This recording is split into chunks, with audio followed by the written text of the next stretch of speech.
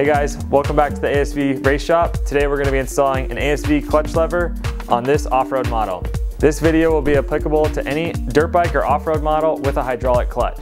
For this specific model, we're going to need two 8mm sockets. We prefer to use the ASV Y-handle tool available on the ASV website. So first up, you're going to want to remove the OEM dust cover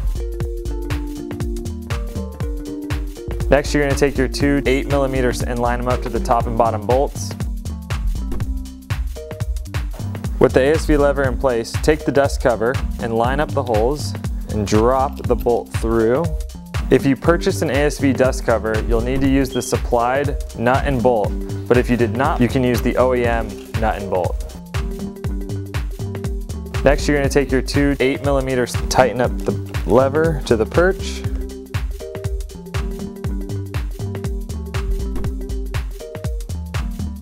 To really customize your rider cockpit, use one of our ASV rotator clamps. Be sure to apply some thread locker or Loctite to the bolts before installing.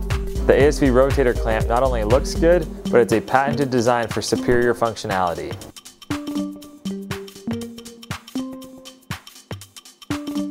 You may need to adjust the ASV lever depending on where your finger sits on the lever. Our general rule is taking your finger to the edge of the donut, sticking it out, and lining it up perfectly with this hook. To adjust the lever up or down, fold the lever forward, and with some force, you should be able to get the lever to move. This will allow you to move the lever without tools or in the event of a crash. Installing a hydraulic clutch lever is very similar to installing a hydraulic brake lever, just a few bolts and we have the ASV lever installed and ready to ride. Visit the ASV website for a complete list of makes and models and to find the lever that's right for your ride.